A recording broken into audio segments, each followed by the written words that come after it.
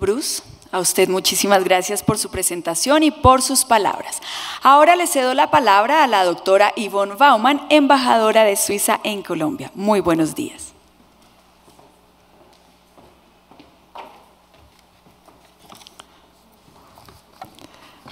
Muy buenos días a todas y a todos. De parte de la Embajada de Suiza, les doy una muy cordial bienvenida a este encuentro El agua nos une. Quisiera extender un saludo especial a la ministra de Ambiente encargada, señora Claudia García Dávila, al señor eh, Bruce McMaster, presidente de la ANDI, al señor Jorge Canosa, gerente general de la Agencia Nacional del Agua de Perú, al señor Giovanni Calderón, director ejecutivo de la Agencia de Sustentabilidad y Cambio Climático de Chile, a y representantes de México, Perú, Chile, Brasil y Colombia aquí presentes, y a todos ustedes por compartir esta pasión por valorar el agua. Tal vez ustedes se preguntan por qué Suiza está trabajando en el tema de, la gestión sostenible del agua. Una de las razones es nuestra propia historia. Somos, como se dice, la cabecera del agua en Europa y normalmente hay abundancia de agua. Pero en los años 60 del siglo pasado tuvimos muchos problemas de contaminación en nuestros ríos y lagos. Esta situación crítica nos llevó a reforzar nuestras normas ambientales y invertir masivamente en la protección de nuestras fuentes, así como en la infraestructura de saneamiento. Yo me recuerdo muy bien cuando era niña, estaba prohibido bañarse en alguno de nuestros hermosos eh, lagos. Hoy en día eh, en Suiza se puede bañar eh, en todos los lagos y en todos los ríos y se dice que hasta se puede tragar el agua. Y se lo, inclusive en mi ciudad natal, en Zúrich, en el lago de Zúrich, se les puede recomendar. Sumado a ello, Suiza también está comprometida por la gestión hídrica por razones que tienen que ver con nuestra fuerte integración en los mercados globales. Somos un país que importa muchos productos intensivos en el uso de agua. El, 82% de la huella hídrica de Suiza es agua importada. Un tercer aspecto del interés de Suiza en contribuir con el tema del agua está relacionado a los efectos adversos del cambio climático. El cambio climático aumenta la presión sobre ecosistemas y exacerba la intensidad de sus efectos.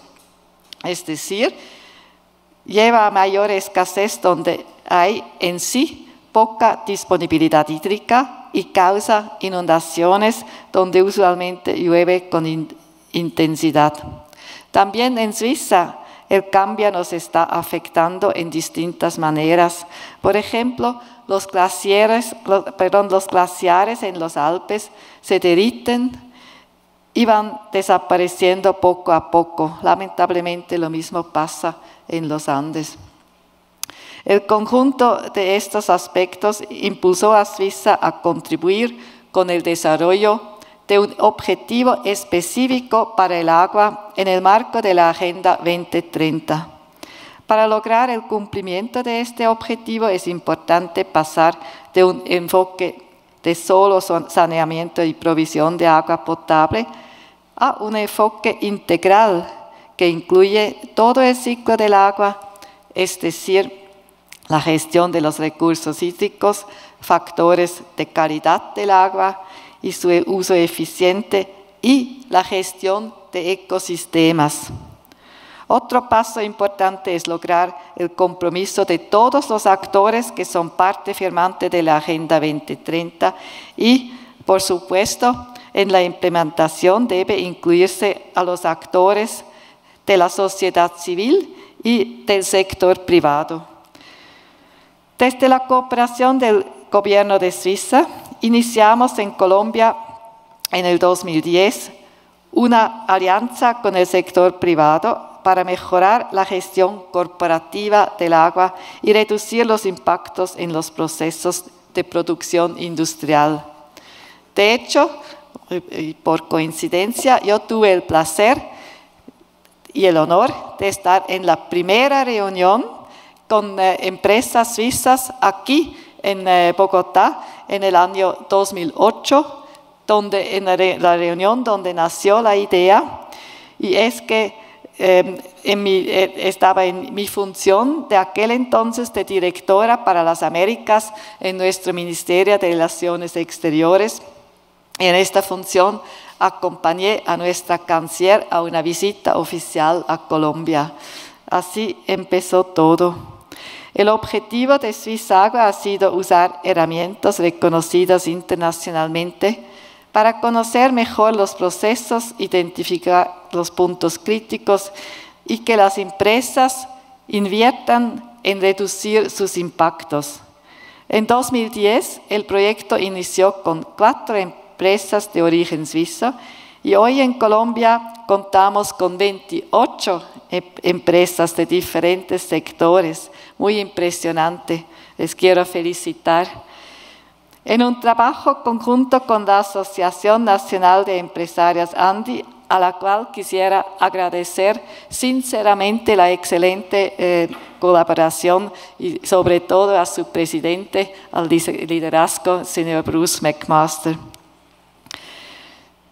Desde el 2012 trabajamos también con Perú y Chile y desde el 2018 en México y Brasil con un sector privado con gran motivación.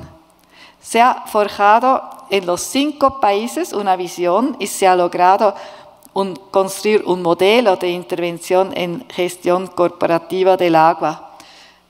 Allá tengo otro vínculo personal con este proyecto y es que yo me desempeñé como embajadora de Suiza en Chile cuando empezamos a trabajar en, ese país. Así yo pude, yo tuve el honor de poner la primera piedra del proyecto en eh, Chile y preparar la firma de los acuerdos, que también tuvo lugar en el marco de una visita del canciller de Suiza en Chile en el año 2013. El modelo de Agua responde a la gestión de riesgos relacionados con el agua en la empresa y contribuye a su vez con los objetivos de desarrollo sostenible. En particular, contribuye con el objetivo 6 dedicado al agua. Se aborda las metas de mejorar la calidad agua, lograr una mayor eficiencia en el uso y fortalecer la participación de múltiples actores en la gestión del agua. Las empresas socias en Colombia hicieron inversiones por 79 mil millones de pesos en los últimos tres años.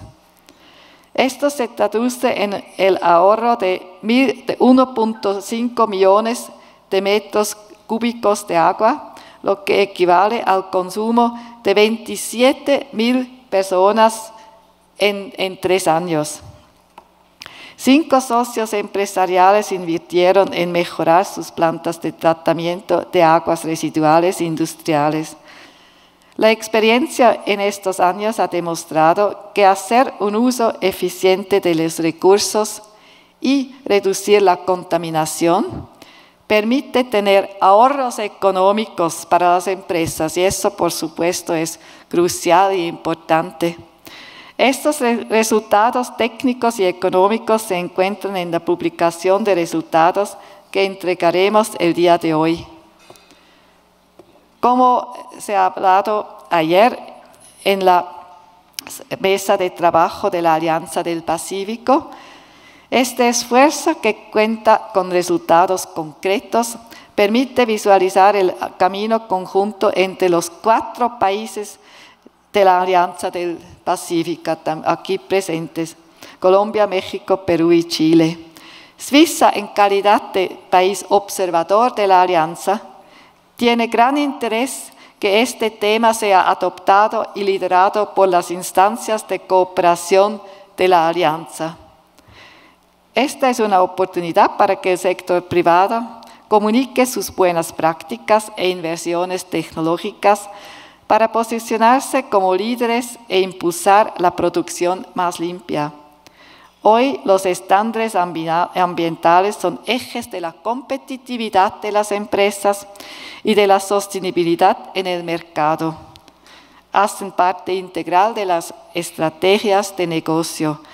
Los invitamos a compartir este espacio dedicado al agua y a ser parte de la solución. Quisiera agradecer mucho a todos ustedes, sobre todo al Andy, por la excelente colaboración y también por ser anfitriones de este evento hoy, al Ministerio de Ambiente, obviamente, también por su apoyo, acompañamiento y excelente eh, cooperación, y a todos ustedes por su presencia. Gracias.